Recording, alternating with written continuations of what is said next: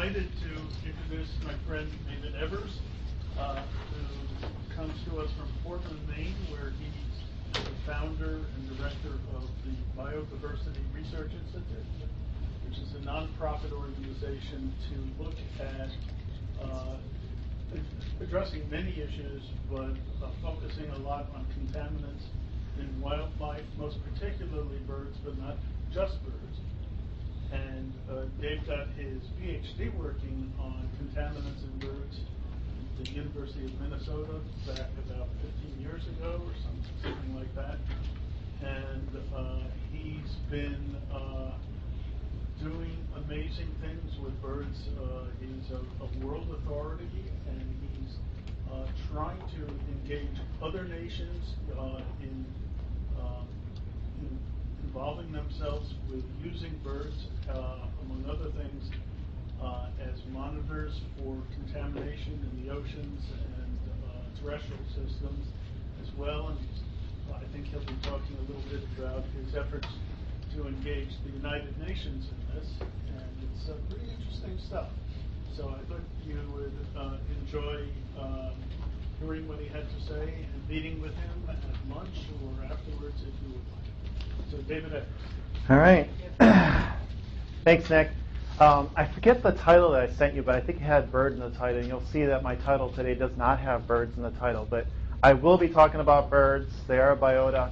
And I'm curious, um, I am going to talk about science and policy and how they relate. And this is a great story on how they relate. And I'm curious, who knows about the Minamata Convention? And this is a great story on how they relate. And I'm curious, who knows about the Minamata Convention? Look at a couple people. How about the Global Mercury Treaty? Because some, sometimes, you know, what is the Minamata Convention? So the Global Mercury Treaty, Minamata Convention is another name for the Global Mercury Treaty. There has been an effort over the last decade or more to pull together a global treaty on a contaminant, which is no small matter. And I've been part of this whole process, and there's been 140 countries that have gotten together and it's a consensus uh, treaty in the end. So it's an amazing process. So I'm going to walk through a little bit of that process with you, and then I want to uh, link up what I'm doing within that process, which in the end does include birds and, and other biota. So the, uh, the process did start around 2001, and uh, there was a uh, realization that mercury is a big problem in the world. And um, I think as a mercury scientist, for myself, I see that every day. I study that, that problem every day. Um, but actually seeing the world recognize it is something uh, to me. And I think part of that is because um, there's one source of mercury that has is increasing, remains to increase, and is becoming more and more of a problem. And uh, that, that I'll talk about a little bit more, but just to say it's gold mining. Uh, it's called ASGM, or Artisanal Small Scale Gold Mining, and now is the leading cause of mercury pollution in the world. So it's something that uh, I've seen on, on NBC News, on Nightline, and other places, and uh, it is a, a, a, big problem. And that's one reason why, if you're wondering, why have a treaty on something like mercury? Well, that, that was a big part of, of that process. So if, if you really want to put a treaty together, it's no small matter. It started in 2009 in earnest uh, for the countries to start getting together.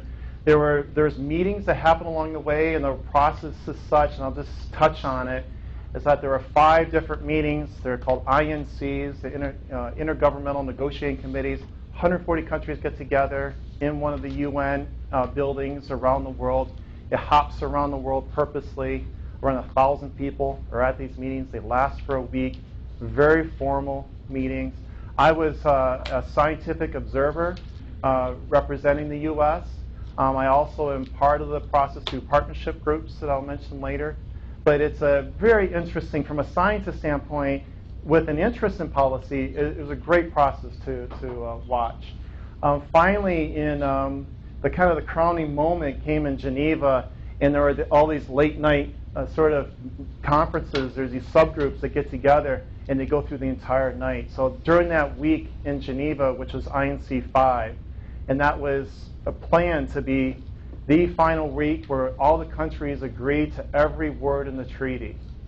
So pretty amazing. Some countries are really fighting tooth and nail to change a certain word. Other countries are fighting back with that. They all have their delegates representing these different countries. It's a great process. Some of these, uh, the articles that are in the treaty actually came down to the last minute in this whole process at 4 a.m. Finally, you know, some country gives in and they got that word there. So everything uh, was finished by this next morning. Everybody got together and felt like, okay, they did it. Um, in October, there was a more formal signing of 140 countries of October 2013. And then that's just the beginning in some ways for this whole process to become more formal. So you can imagine U.S. had 12 delegates um, that were part of these meetings, and they represent the State Department and EPA. Um, they signed it in the end. They got the official word that they could sign it, but it still has to go through Congress. The president still has to sign it. And you can imagine all the other countries have to go through something similar in that process. So right now, even though everything has been signed by these countries on, in October of 2013, it still has to be ratified in the end. The U.S. was the first country to ratify the treaty. Uh, so since then, I think there's around seven or, or eight countries that have ratified it to date. You can go on a website and see which countries those are. And then this in-between period of getting these countries to ratify it and when the treaty actually starts, or is called in force, is, a, is, a, is the kind of the problem area. Right now, nothing can happen. And so um, until 50 countries ratify the treaty, it doesn't move. But once that 50th country ratifies it, that treaty does go into force all the clocks within that treaty for things to happen, such as scrubbers being put on smokestacks for coal-fired power plants or chlor-alkali plants being mothballed or converted to other technology, all those clocks start to tick. So a really interesting policy sort of process, and it's still happening. INC 6 was in Bangkok in Thailand. I was lucky to be there for that INC. The next INC happens next November. So for the next three or four years, we'll be in this uh, process of uh, helping countries ratify the treaty. As, as part of this process, I'm on a partnership group. There's six different partnership groups, and the one that I'm working with is the Fate and Transport Partnership Group. Um, it started out as Fate and Transport, now it's Transport of Fate. For Mercury people, it started Fate and Transport because it makes sense from an air emissions standpoint. If you include all the compartments of Mercury, what you want to measure, it makes more sense. It's called Transport and Fate. It's an interesting sort of, uh, of wordsmithing there. I work with uh, Nicola Pirrone. He's out of Italy with the uh, Institute of Atmospheric Pollution Research uh, Council. And um, we're working together on trying to develop a mercury monitoring program at a global level. So um, great stuff. I feel you know honored to be part of it all. It's no small task, and I'll talk a little bit about that monitoring effort for today. That's kind of the, the linkages between science and policy. So this is a, uh, a uh, air a uh, air emissions map, and it shows you know where is the mercury coming from around the world. And I bet you if I ask this question, most of you could say, I know where a lot of it's coming from. It's all because of China. Um, China's a big problem. India's a big problem. Uh, you can see the yellows and the reds there. But you also see reds in odd places, I bet, right? So look in uh, northwestern South America. So what's there that's causing all that mercury air emission? It's the gold mining.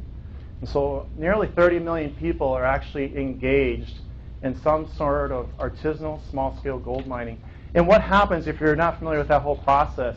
It's a matter of you and I going out to a creek, panning for gold, we add mercury into that pan. That mercury amalgamates with that gold, those gold specks that you can see in the pan, but it's hard to capture.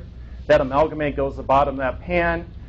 You swirl it around more and more. You get that amalgamate. You bring it back home. You go into your little hut, and your wife and your kids are right there, and you're burning off that mercury, so you have gold at the bottom of your pan at the end. But all that mercury they're burning off becomes vaporized. And that vaporized mercury actually isn't a great thing for you. It's not, at least it's not in the methyl form, but even in that elemental or inorganic form, at high enough levels, it causes major problems. So if you add that up tens of thousands, hundreds of thousands, or millions of times, you end up with a very big problem that has a global impact. So that's what you're seeing in Africa, in South America, even in Asia. It's a major problem, but it's the artisanal small-scale gold mining that ends up being one of the, uh, it's now the biggest problem. So this is the new sort of uh, pie chart of mercury emissions for the world that UNEP has just put together. It's based on 2010 data, but this was just uh, presented in 2013 and at the uh, Bangkok meeting in 2014 for the first time. But you can see uh, the changes even, I would say five years before this time, coal-fired power plants were the major source of mercury. And so that's now changed over uh, to um, artisanal small-scale gold mining. So the interesting thing about mercury from a scientific standpoint is that there's a lot of variation in mercury within an ecosystem and the environment and what happens to it when it methylates.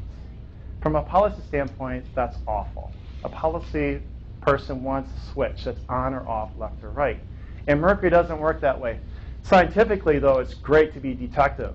A mercury scientist has a lot of questions that you can follow, and uh, every answer you get creates other questions. And so this is the typical sort of um, cycling um, food web for mercury in a system. There's a lot of that happens within the abiotic system with demethylation, methylation, sequestration, volatilization. So mercury is moving all around this sort of landscape in many different ways. It's very challenging to model. Not impossible, but very challenging. And then there's the whole methylation of that mercury that enters the system and how that methyl mercury moves through the biology or the food web. And that food web component is one that makes it a real struggle to just look at how much mercury is falling down on a landscape doesn't necessarily link up with how much mercury is getting caught up into the food web. So because of that, we can't just go out and monitor air mercury concentrations, so either emissions or deposition. So just to give you a visual on that, I work in the Kejimkujik National Park in Nova Scotia. Has very little mercury coming into that system. Has the highest mercury levels in fish and loons in North America, hands down. So how can that be? It ends up being a very sensitive system to mercury coming into it, right? So the methylation process is enhanced because of high dissolved organic carbon, low pH. The food web is, is such where it actually exaggerates methylmercury inside the food web and ends up being a very sensitive system to mercury input. And conversely, let's go to, let's say, a dry area in Oklahoma, where there's a lot of mercury that comes down from different plants in, in, in Nevada, uh, power plants. And there's very little problems in Oklahoma because it's dry, doesn't have wetlands, doesn't have that sensitivity to the mercury coming in the system. So you can see sensitivity of the ecosystem is everything with when you're looking at mercury. It's not just the mercury being deposited in the system, it's how the methylmercury moves up through the system, how it's methylated, how it gets caught up in the food web. In the end, a lot of the treaty's concerns was all about us, our own health. I'm also interested in eco-health. And eco-health, including the, uh, the inhabitants, these ecosystems, the birds, the fish, and the other wildlife, um, also on how the human health connects with ecological health. And so that's something that my interest is to look at this more holistically. And by, by doing that, we, we're required to look at the mercury levels in biota as part of this whole monitoring uh, effort. So I want to talk a little bit about fish and birds. And um, for fish, it's, it's a natural sort of uh, hinge point to examine mercury and to monitor mercury over, over time. Uh, for one thing, we eat fish. And for some communities and cultures, fish are a very important food item. And so understanding the, the amount of mercury in the fish, the species, the places those fish are found, um, the age classes of those fish, that can cause problems to some parts of the population more so than others. So some parts of our populations, such as kids or pregnant women, are more sensitive to how much mer- methylmercury gets in their bodies than others. So there's a lot of variables to, to play with there. But in the end, it's looking at how does mercury coming through fish entering our diet, how could that cause a concern? Um, there's a lot we could do with fish too by just looking at spatial trends and temporal trends. So they're very good barometers or indicators of what's happening in the ecosystem. And part of the convention is to evaluate the effectiveness. So that's where that title came from. And at first, that was a, a strange sort of title. It's throughout the treaty is evaluating the effectiveness of the treaty. So, in other words, how do we monitor mercury over space and time to really uh, determine was the treaty successful or not? And then fish are this great hinge point for not just for human health, but eco health. And I work a lot with piscivorous organisms uh, such as loons, avian piscivores, that are obligate fish eaters. They have no choice but to eat fish every day, all day. And uh, I think it's very important to, uh, to include them in sort of this sort of equation. So this is a database that we put together called the Global Biotic Mercury Synthesis Database. It's similar to what Roxanne has put together uh, with, with Nick. And it's a database of, of existing information and peer-reviewed literature and governmental agencies to try to get some context on mercury around the world. For the last, since the 70s, so that's 30, 40 years, there have been a lot of governmental efforts to understand mercury in fish. So there's a lot of value in, in bringing together all those existing fish mercury data sets to get a better idea of where are the places that we're really worried about in the world and how has mercury changed over time. And just to add another variable into the, all of this is climate change. So we can look at, we can model what mercury is there now, but how about we need to project where are the places that mercury might, methyl mercury might be a problem 10 or 20, 30 years from now. So those are sort of all the equations and the models that we're trying to put together using some of these existing mercury uh, data sets.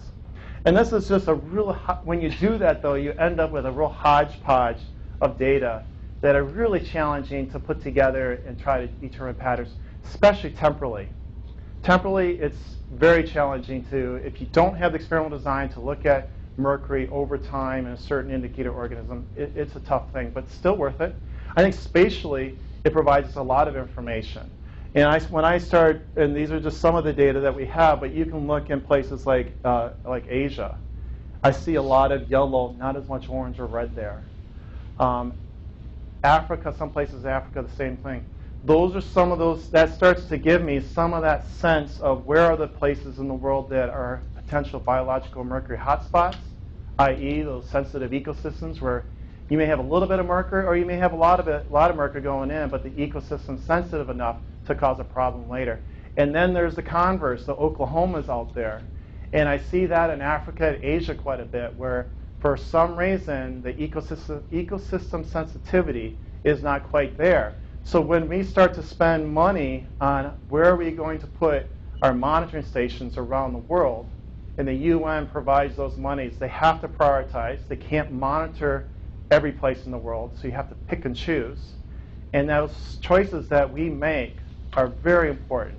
They have tremendous ramifications on the treaty and, and how people are, are evaluating um, the, uh, the changes of mercury uh, across, uh, across Earth. So, um, so our, our challenge right now is to figure out where are these worst case scenarios and make sure that they're included, in my mind, within this monitoring scheme. And data sets like this actually really do help quite a bit. They also help on really identifying not just the places in the world, but what are the taxa that we really need to be worried about. And then having some sort of context within that too. There's, uh, um, there's several problems with, with that fish can help us understand. Um, but understanding the effects of mercury uh, in fish is very important. And also understanding those effects from mercury in fish to us is obviously crucial. And of course, there's a lot of variability. It's not that on-off switch that I mentioned before, of course. Of course not. And the, the variability in just this room right here, if we all had tuna fish sandwiches for the next you know, half a year, we would have mercury poisoning to a certain degree. We ate them every day, day in, day out. But how we responded to that would vary among our group here. So you can imagine there's these, these long-term uh, studies on populations such as on the Seychelles Islands, and the Faroe Islands are the two famous studies. The Seychelles Islands showed less sensitivity to mercury coming into their system. Their IQ tests didn't change all that much. Where the Faroe Islands, the sensitivities was much higher. IQ tests actually were impacted significantly. Then you have other variables coming into play. In the Faroe Islands, there could have been PCBs in some of the cetaceans that the people were eating, where the PCBs in the Seychelles Islands weren't as great. So remember, when we are looking at just one stressor, we do have to kind of keep in mind what are those other stressors that are out there that could cause a problem as well. But these are some of the data that uh, we brought in from this database for some of the, the lower mercury um, concentrations of, uh, for fish. And you can see different species of fish on the x-axis here.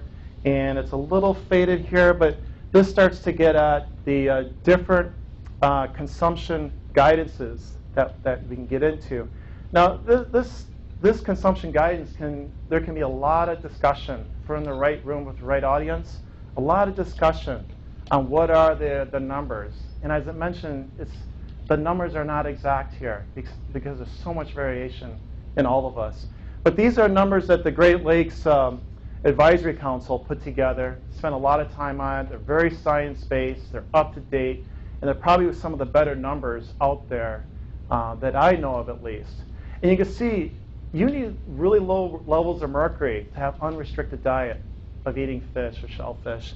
You get just even to the 0.05, 0.11 level of parts per million of mercury, which, which tuna fish, we'll, we'll see tuna. Tuna on average is 0.3 or so. It depends on the species of tuna, where it's from, etc. But you start getting into tuna fish, and even for any of us here, you start to think of it's a meal a week or a meal a month. I'm going to talk about, there's the positive things about fish too. I'm going to talk about that a little bit later. But you can, my point here is that you don't need a lot of methylmercury in the fish that you're eating to potentially cause problems. So, so there's, there's a lot there to deal with. And because of the, uh, the, the pluses of eating fish, how, what the messaging is like from the interpretation of mercury in fish is very important across the world because fish are such an important part of people's diets and, and they're, they're key for, for just simple protein for them. So, so I think there can be a message pulled together. So certain, certain parts of our population are more sensitive to mercury than others. Certain species have more mercury in them than others. Some size classes of species may be okay to eat versus other size classes. So that's the message that has to be packaged up and kind of brought forth to people in different countries. And that, that's the challenge. This is the other, there's two graphs here. One's of the lower side of the uh, mercury concentrations for fish. This is the upper part. You know, the, the record holders are, uh, are marlin and other uh, uh billfish, of course, but Pacific bluefin tuna, mackerel, swordfish, these are all the fish that you kind of, kind of hear and see about out there that be careful eating these sort of fish. And for all of us, it's a little bit of Russian roulette. The Russian roulette part, and I, I left out the, uh, the uh, variation here. But you can see uh, marlin on average can be two and a half, but they can reach up to 10, 12, even higher parts per million. That's the Russian roulette part where that may be average, but you don't know where are you within the, the continuum. So this is, this is a, a, key matrix that we put together, we distributed in Bangkok as part of one of those INC meetings. And I worked with uh, the World Health Organization, WHO, on this, and uh, they're excited to see it because it, it, starts to get some of that messaging across that, that everybody's interested in, that some fish, are, some fish are fine. And actually, omega-3s actually start to tip the balance a little bit. If you have a little bit of mercury, but you got omega-3s, uh, there's advantages there to still eat fish. Um, so this, this little matrix here provides that sort of information where uh, there's healthier choices, like Atlantic salmon, sardines, and then there's riskier choices. Okay, so mackerel, billfish, if you're some populations of the world eat shark. So higher mercury levels, low omega-3s are riskier. Low mercury levels, high omega-3s are, are healthier, and, so, and there's everything else in between. So this, is, this starts to get going in the right direction of trying to get the best message out that really incorporates um, all the information that you'd want to get out there. Some more variation, and, and from a science standpoint, it's great because it's more detective work. Uh, again, from a policy standpoint, it just makes things harder. So here's, here's tuna fish information. And Nick's working on a great new database. It'll be great to see someday soon about mercury and tuna fish because that's where that's the nexus really out there in the world. What, what's the fish species that's most commonly eaten, even here in the U.S.? Tuna. Um, so more information about tuna, I think, is key for, for around the world. And you can see here, just on this histogram, on these small sample sizes that it really makes a difference on what species of tuna, Pacific blues versus skipjacks or yellowfins. Major difference there in mercury concentrations, right? And then um, I've met with FAO and talked to them quite a bit. And FAO is the uh, Food and Agri- Agriculture Organization. They're based in Rome. And they have all the commercial harvest data for around the world. So we could start to look at the commercial harvest data, compare it with the mercury concentrations in these fish, and try to find those good places that there's a lot of harvest on one species of fish. If it has low mercury, great. You can see with tuna, it actually kind of works out naturally. The, uh, the high harvest species are the lowest mercury species. So that, that's a good thing that comes out of uh, just comparing the FAO data with their mercury concentrations. These are usually younger, smaller tuna, where Pacific blues are the larger, older tuna in general. Now, Pacific, young Pacific blues would, would have different mercury concentrations. So there's a whole component here of methylmercury biomagnification through the food web, so that pyramid, but there's also bioaccumulation. So bioaccumulation is if you're an older bluefin tuna and you've lived 30 years and the mercury that enters your body every year is more than what you can naturally get rid of, then you add that up every year and you end up with more mercury in your body. You're also, there's also a factor here too that you're getting bigger. As you're a bigger fish, you tend to eat bigger food items that tend to have more methylmercury. On, on the bioaccumulation, I'll just mention another story that goes back to my own research with loons. And i have been able to catch loons, put bands in the legs, and follow individuals over time. And loons are long-lived birds. They live up to 30 years or, or longer. And loons have a natural mechanism, just like all animals, including us, of getting rid of methylmercury that comes in our body. So we have no use for methylmercury in our body whatsoever. But, so we've evolved ways of getting rid of it. And the ways we get rid of it is through our hair or other keratin materials. Also, we can have demethylation that happens with selenium bonds in our liver, kidney, and spleen. So there's a couple different ways for us to get rid of that methylmercury that we just ate in our tuna fish sandwich last week. Great. But if we hit this physiological ceiling that we've kind of evolved to, to a certain degree, and think of a loon like this, if mercury exceeds the output, so input exceeds output, output being demethylation and depuration, depuration being get rid of methylmercury through your hair or feathers, if you have feathers. Um, if input's greater than output, you can imagine what would happen over time. So you build up methylmercury in your body over time. And I saw that in loons. So I was able to catch loons over time. And I see in different known age birds that those older birds had higher mercury levels as I measured through their feathers. And the feathers are kind of a window what's in the, in the muscle tissue for methylmercury. So so age and size makes a difference, and that's why Pacific bluefin tuna are higher. Here's some data on sharks. Um, the, the, percent of people, I think the percent of populations on like on the order of one or two percent. The population eats sharks in some countries. Uh, I do a lot of work in uh, in Belize and Guatemala, Honduras. Uh, certain times of year, there's a lot of people in Guatemala and Honduras that eat sharks. So you know, different countries and different places do depend on sharks. Sharks are declining for all the awful reasons that are out there with, uh, with finning. Um, but mercury sure doesn't help. And understanding mercury and sharks for their own sake is also a, uh, a big problem out there that needs a lot of scientific help. If you're ever looking for a PhD or dissertation, look at methylmercury and the effects of methylmercury on sharks. Um, boy, that is well needed out there. But you can see in, in general, I, and I use the red line here at 1 that's a WHO sort of uh, rule of thumb, sort of threshold of health effects to people. So generally, um, and all the sharks that you're familiar with are these ground sharks. Those the blues and the makos and lemons, uh, bull sharks, etc. Um, but really, really most sharks are above uh, any sort of threshold from a human health standpoint. And then I got to think about the sharks too there. What about the sharks standpoint too?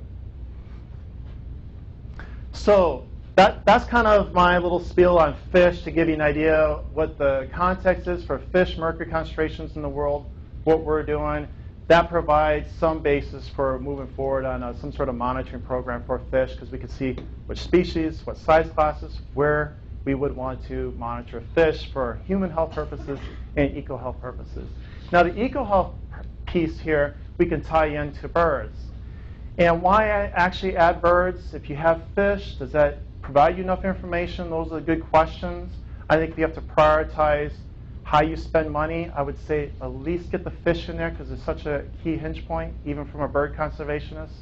Um, but I would like to see a bird component or wildlife component. And uh, in the treaty, there is the word bird as part of the monitoring program. Um, it got in there somehow. Um, also, there are other groups that, that are out there that are very interested in wildlife conservation for all the good reasons and the common causes that we're interested in. That's IUCN. And IUCN played a role in making sure that there's some wildlife component uh, within the treaty. Because the treaty was, for good reason, really focused in on human health. 99% of the conversations and discussions in the treaty language is about human health. That's up front. It's interesting. As things have kind of come around, there's a lot more discussion, though, about ecological health and including wildlife components to the treaty from a monitoring program standpoint. So I, I do see it actually coming around where it will be a more holistic sort of uh, a monitoring uh, component for the treaty.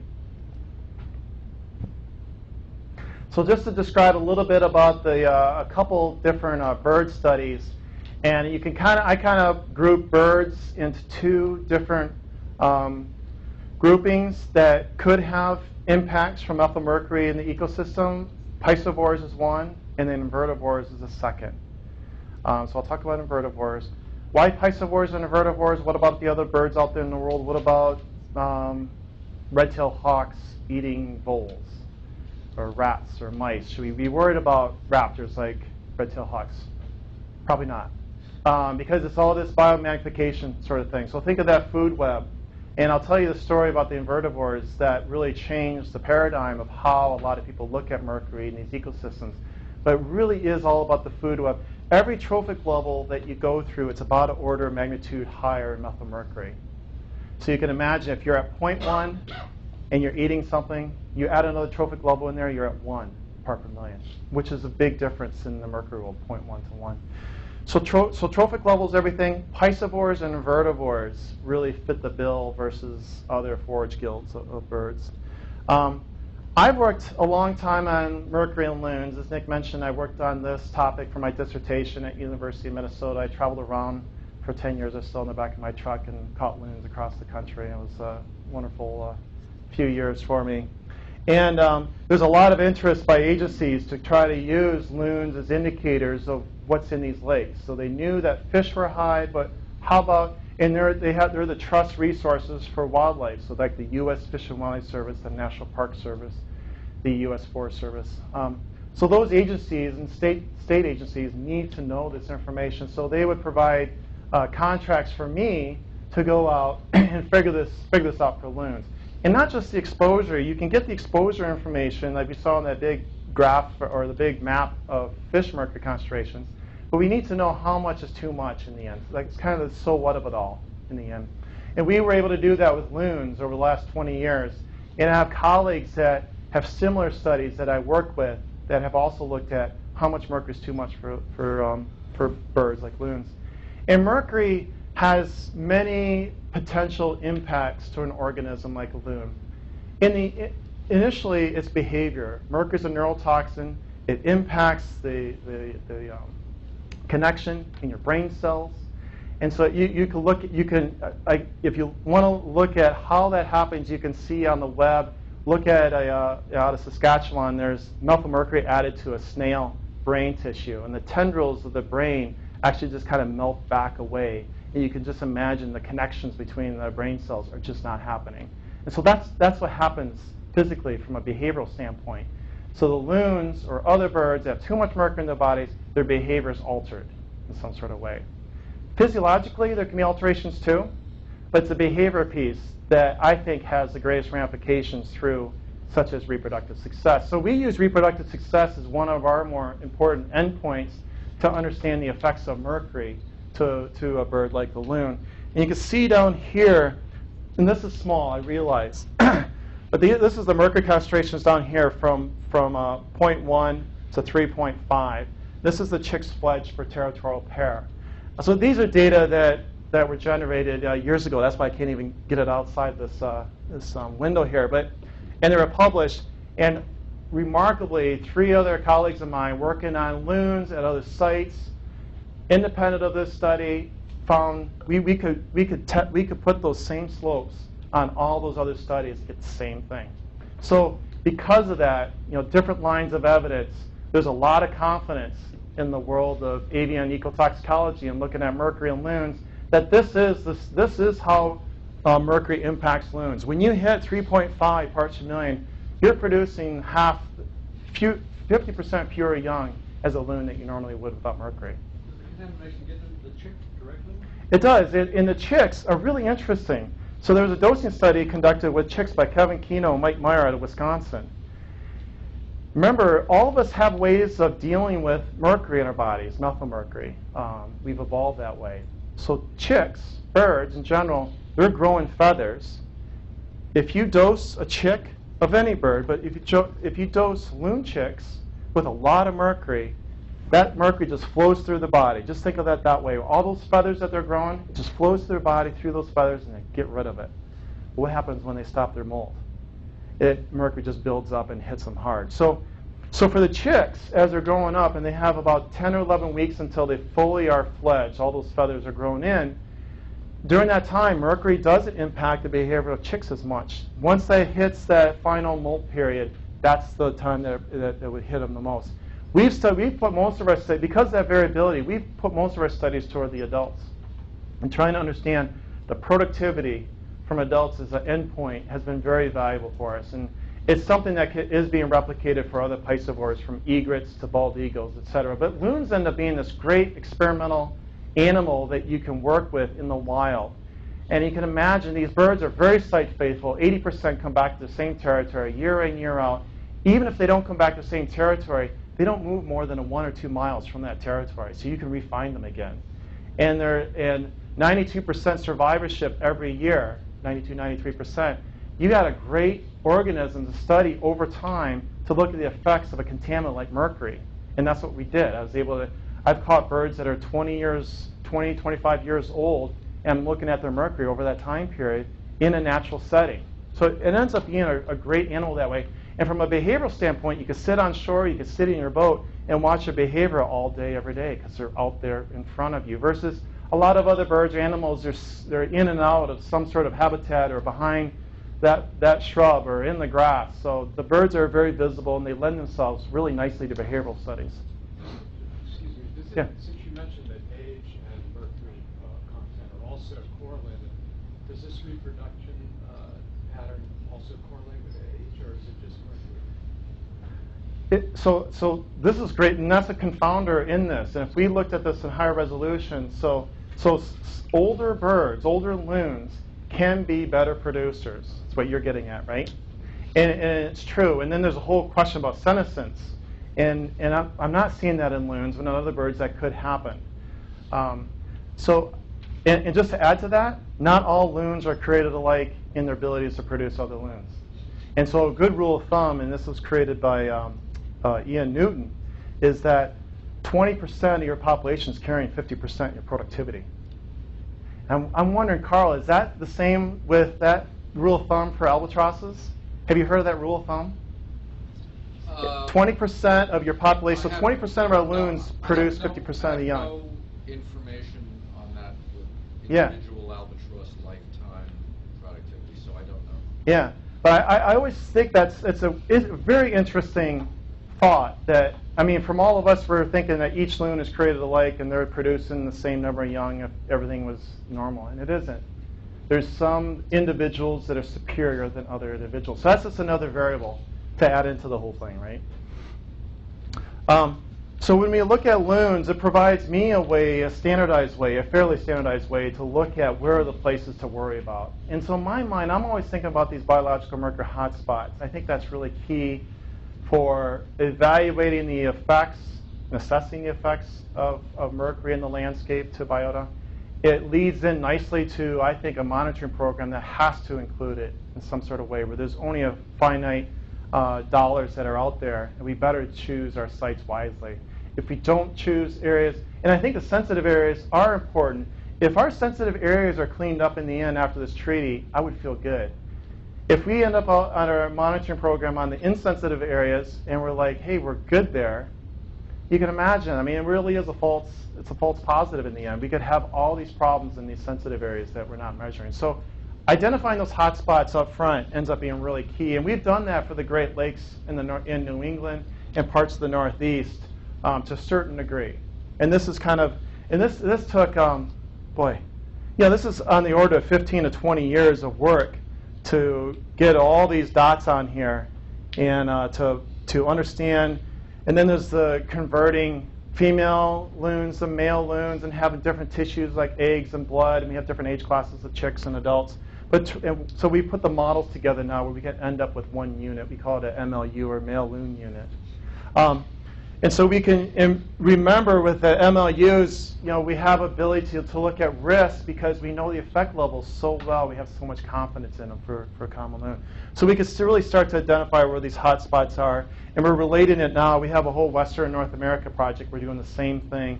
And eventually what we'll be able to do is we'll be able to do a risk assessment based on um, relating fish to birds, by the way. So we can confidently re- relate a fish and make it a loon.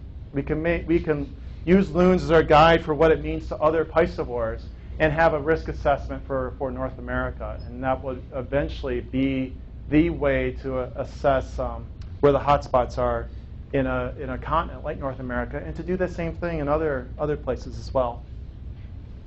So that's the loon story, and that's the avian piscivore example or case study.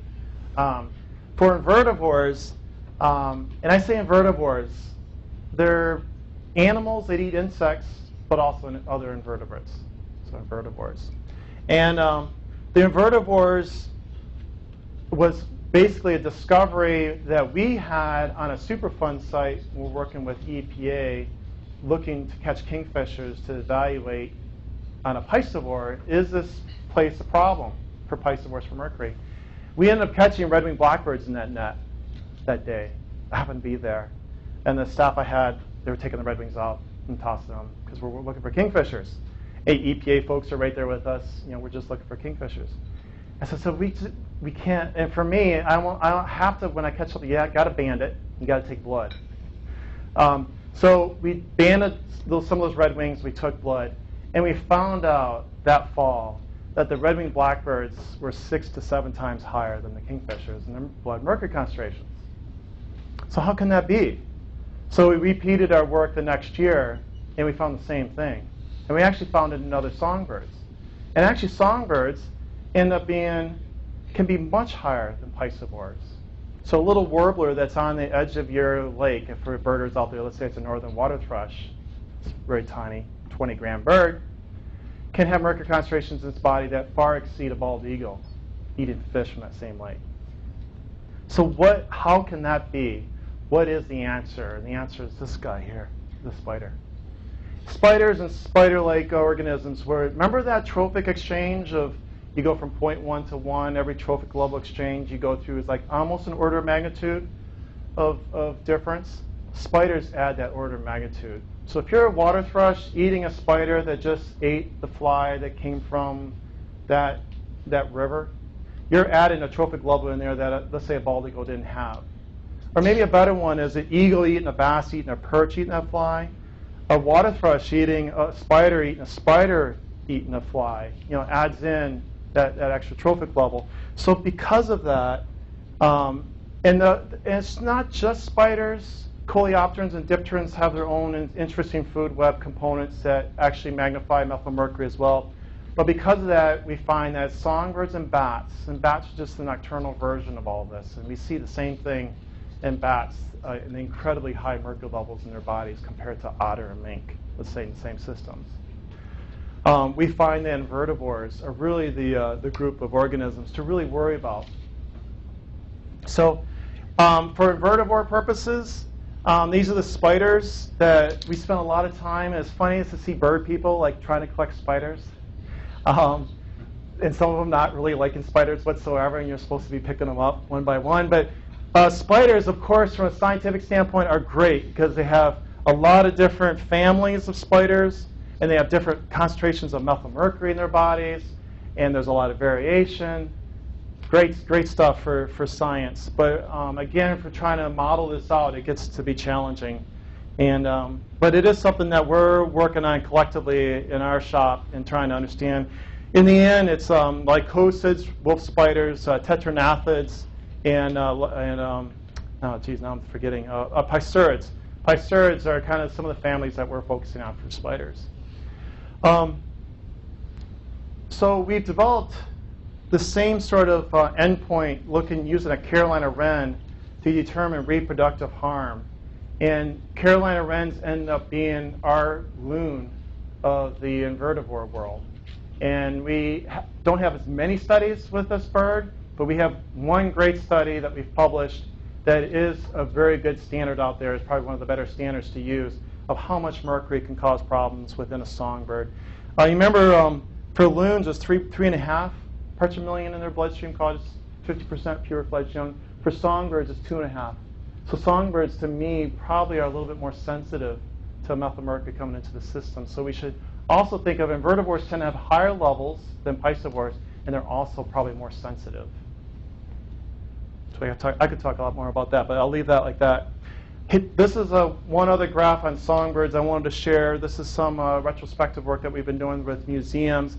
And it's a rusty blackbird is a species of songbird that a few of you may know that's declined by over 90% in the last few decades. Why is that the case? I think part of it's because of mercury.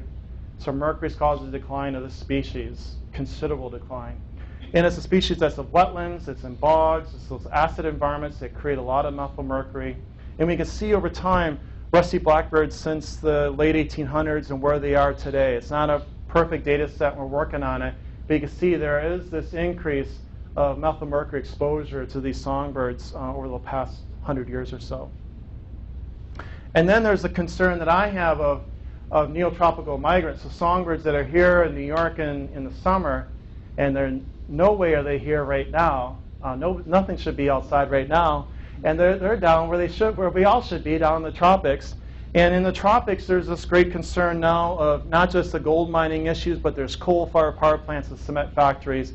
And we're trying to get a handle on where are those hotspots in these tropical areas. And we have uh, many different sites that we're working on down in this area. So it's another area of, of um, a great concern to me. And I think the longer some of these neotropical migrants have to fly, the harder it is for them. Because I find that in high mercury individuals, there's an asymmetry that's created.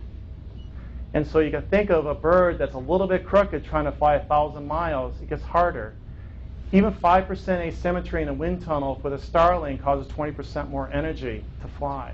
So if you're a little bit crooked, it may not seem like a lot, but if you got to fly far, it really does uh, cause a lot more energy expenditure. And so when I look at some of the mercury levels in songbirds in the tropics, I'm finding um, birds at these sort of 5, 10, 15, 20% nest failure levels these are wintering birds, so we're kind of converting what's going on in the winter, what could happen in the breeding season. But the point here is that these are sort of levels I'd find in Superfund sites here in the U.S. So I feel like for some of these birds, they're getting this double whammy. They get hit hard up here during the breeding season. They go down the tropics and they could get hit hard again. So it's another part of the, the whole package that we have to look at. I got two more slides. Got 10 minutes. This is one of the final slides. So that, that's the story. Those are my case studies on fish, piscivores, and vertivores uh, for birds. And those are sort of uh, groups or taxa that we're going to, as a collective group for the partnership group, we're going to start using those taxa as a way to monitor mercury over space and time at, at a global level. This is just a, uh, an example of the articles in the convention, the Minamata Convention, 12, 19, 14, etc different articles have different purposes, and how we're relating to these articles with our, our database, but also with the monitoring needs. And the one article here in Article 19 is research development monitoring. So that's the article that, that our partnership group is working toward. And in the end, Article 22 is the evaluation of the effectiveness of the treaty.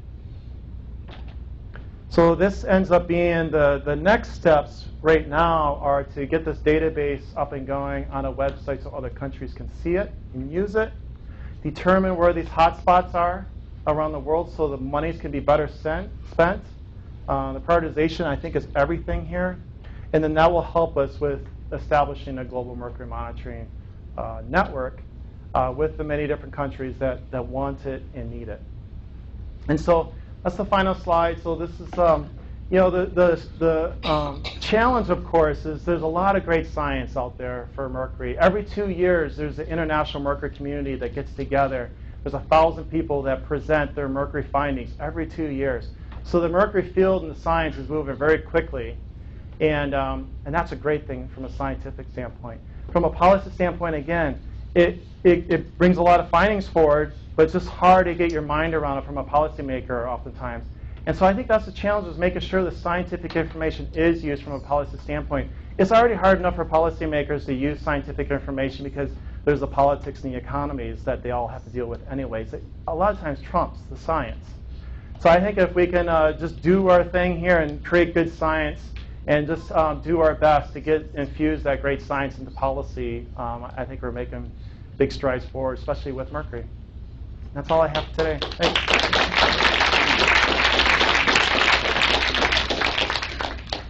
So any questions about mercury that, that people may have? Or yes?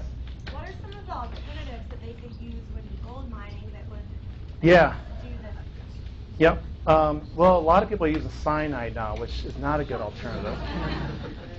Um, there's retorts that you can put on top, so when you're burning off that mercury and that vapor is just not dispersing through your thatched hut, and you're not everybody's not breathing it around you, you could put a retort on it. It's just like you know, it's just like collecting that mercury. You have to have a program though of like depositing that mercury from that retort somewhere else.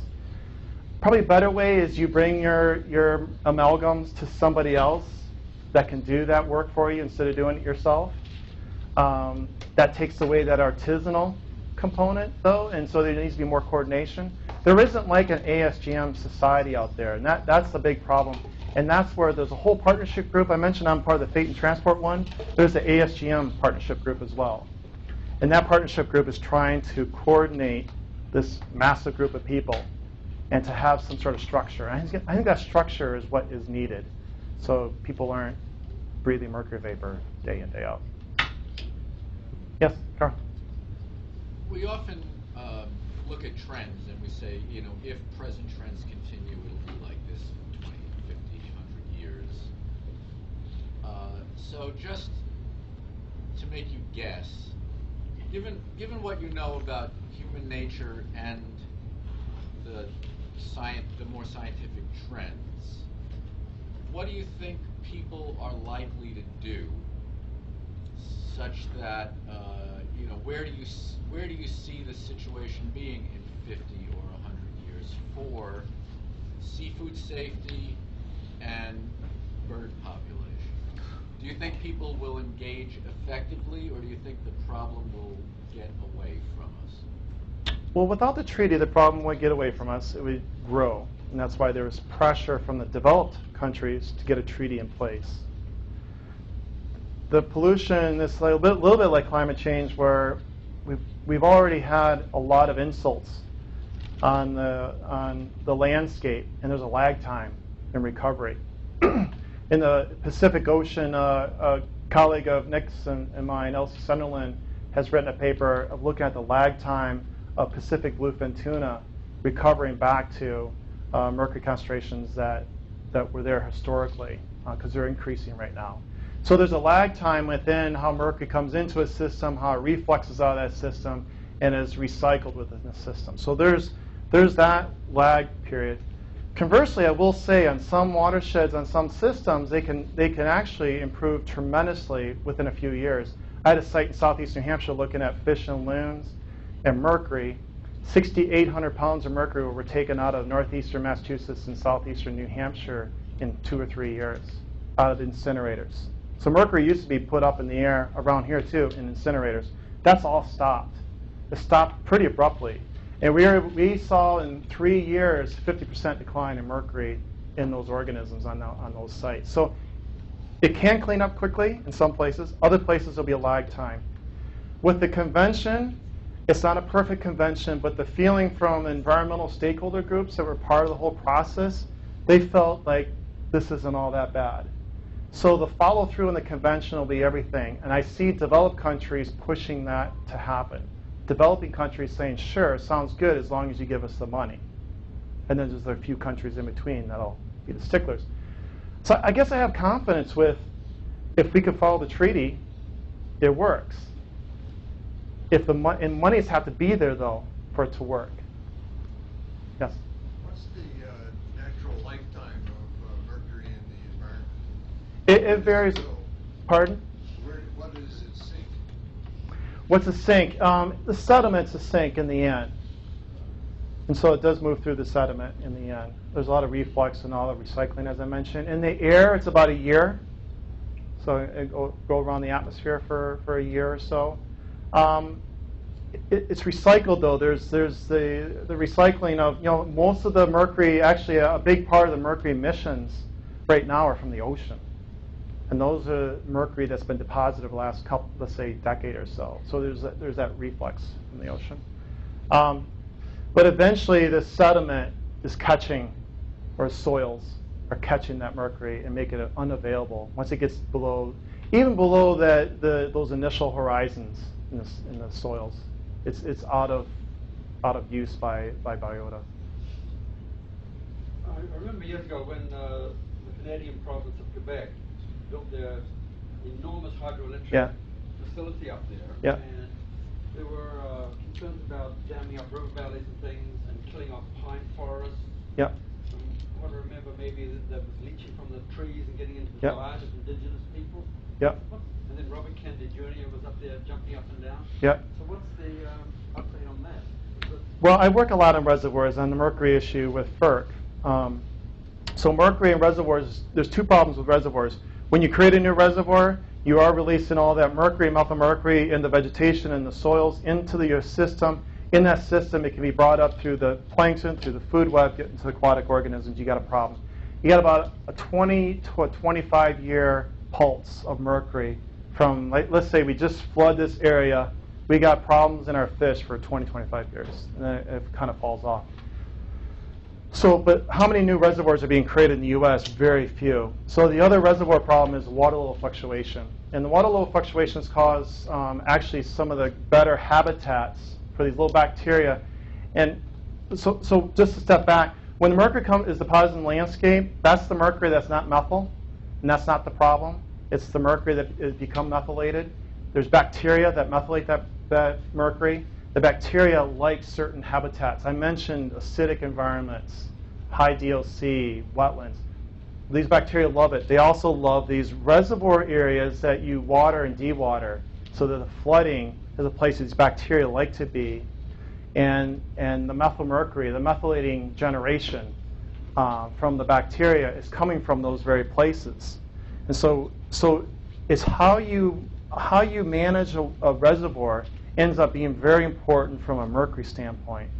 There's a lot of if, ands, and buts again. The sediment makes a difference. The, um, you know, the shoreline makes a difference with those. If we had a wetland shoreline with a um, sort of um, a silt or organic material for the uh, sediment, and that shoreline, uh, there's a large part of that the bathymetry that shows when the water levels go down, and then they go up from a storm event or from a, a, a rewatering event maybe a month later. Those are perfect conditions for methylation. You got problems with your fish and your birds. So that's the two reservoir sort of problems. So Hydro Quebec had to deal with this. They had long-term studies. A lot was figured out with what happens when you make reservoirs. If you make a reservoir, you're going to have a mercury problem. But it does, it does have a finite end if you are able to manage the water levels where they're steady. Yeah. Could you please go back to the two uh, global chart that one is the global um, mercury emission and the other one is the monitoring of mercury. Could you repeat the questions, please? So I want to compare the two graphs. This one? Yeah. And So you can see that, um, so in, for example, in, in Asia, Mhm. you can see that India and China have very high emission. Mhm. But in the other chart that, um, you have the monitoring of mercury.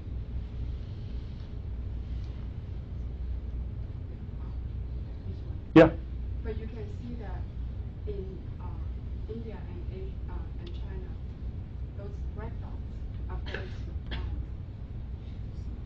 there's very few of them. very few. That's right. So you mentioned that um, the sensitivity is the problem, but I think it also has to relate it to the, the amount of the monitoring there, and also, um, how many scientific study has published. Yep. And things that contribute to the, the pattern that it's showing. I agree. So the question right now is, we saw what the, the emission maps look like, and this was a big point of mine too, is that the emissions don't equal what we see in, in the field, right, with these organisms. That's why we have to have biota as a component of this.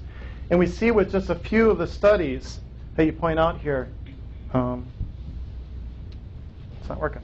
But you can see in um, China and India, those where those studies were conducted, it tends to show you that there are lower sensitivity, either lower ecosystem sensitivity or the fish were in the lower part of the food web, right? And the good question is, is that the end all? Is that truly the case? I think you're right. There needs to be more studies there to make sure that we flipped over every rock, because there could be sensitive ecosystems there, or we could look at different species of fish. But the pattern is in Asia and Africa to tend to have lower sensitivities to, methyl, to generating methylmercury to mercury coming in. But more needs to be known, for sure. Any other? I think there's one other question. question, and then, Okay. and then you can continue this after lunch. Uh, I was just curious, do you ever differentiate between mono and dimethylmercury in your analyses? I, I don't. So when we measure methylmercury, so in, in fish, in tissues that I work with, muscle tissue, uh, keratin tissue, egg tissue, 95% or more of that's methylmercury. So we've had subsets of data, we've looked at methylmercury, we have very high confidence, mostly methylmercury. So it's great because we can run total, total mercury, it's cheap as fast. For those spiders, remember the spider data?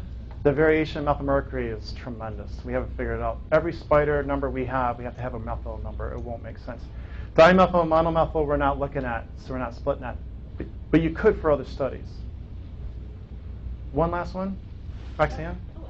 I get to- You get the last one. Uh, what's the hypothesis of why different species of birds have different sensitivities to mercury toxicity? Yeah, I, I think, um, well, it's a, a good a good example are seabirds versus, let's say, terrestrial birds. Seabirds have evolved with a certain amount of mercury in their systems because marine systems have had um, more. They have more methylmercury in the food webs than terrestrial systems. We're adding a lot more proportionally to the terrestrial systems than the marine, than the marine system.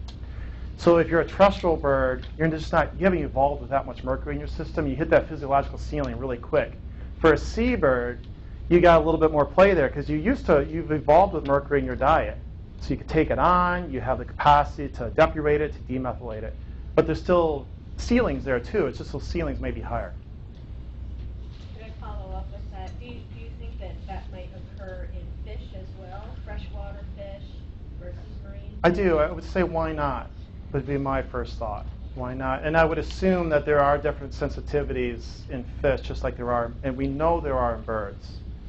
Uh, so some, so songbirds, even within songbirds, we know from dosing studies that some songbirds are more sensitive to mercury dosing than others. So Carolina wrens are much more sensitive than zebra finches, for example. Sadly. Okay. Good.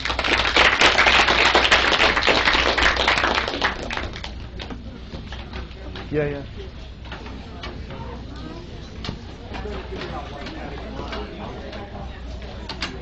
Oops. Is that Daddy Longlegs in there? It's funny. I didn't. I didn't realize that fully.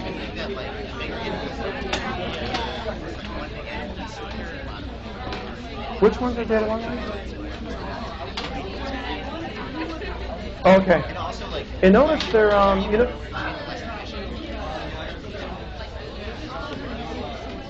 Oh yeah, yeah. Yeah, I've never, I haven't noticed that before. Um, what are Daddy Longlegs eat? Are they detritus?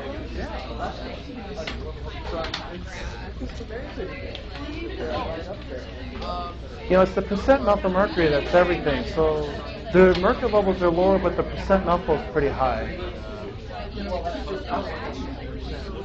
So that's percent, and I could have described this better, but it's, it's two axes here, two, two axes. Percent. Yep. But the percent methylmercury is really high. I don't know how to uh, reason that through right now. Listen. So, so a scientist Yeah, yeah. I would have guessed so. Detritivores are lower. Um, so I have millipede. Yeah. I have a millipede, millipede data. Their millipedes are detritivores. Same level of total mercury millipedes and centipedes in the forest floor. The centipedes are 95% methyl, millipedes are 10%. And I was like, okay, that's the detritivores. So that's, I don't know. I don't know how to interpret that. But. So are you comparing apples and oranges in China and India because you show a lot of uh, yellow across the whole country, and so you have to believe that the difference is sensitivity in the environment because certainly you don't have samples. You don't have fish.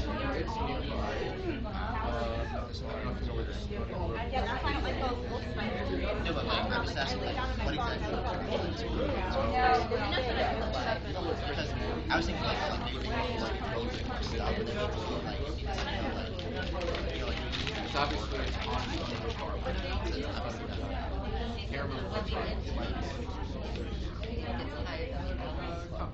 So there is, that's not how, yeah, Right,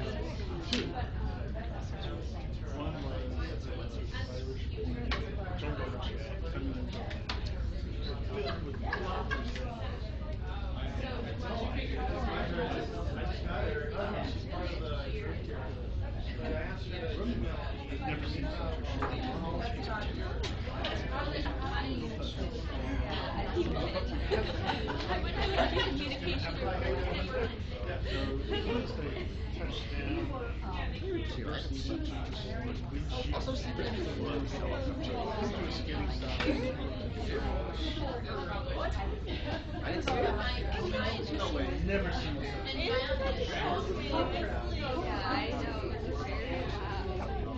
were so pissed off. Like when you're mad, you're just like vicious. You no recourse. You were, you were just like yelling and yelling, like, why would she do that? You were you like shuffling all over. I just remember screaming at you. Yeah, you were just like, yeah, like immediately you said my name. I didn't even know how you did it. Because what happened was I was still asleep, but I could hear you guys were on the cafe wing, and I knew Okay. And then Nathan got like so offended. You did! But then afterwards, He was like, they I just just- I don't know. But it's speed related. So, okay. I was surprised at how good it is. I like my So what does your advice Um, I.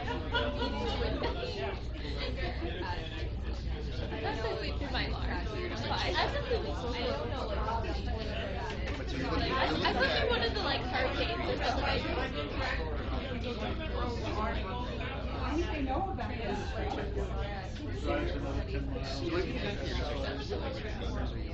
I might start doing experiments. Well, after- And for edits. I got a lot of paper. I kind of stopped though. I like Oh no, I'm just. I love stuff. And like you feel better. You like walk back in the printer. Some of them were really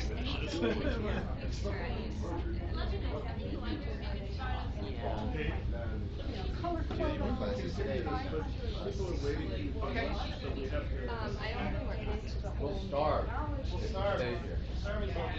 No. Sorry. No, that's fine. You can continue. My family is more Yeah, let's go. No.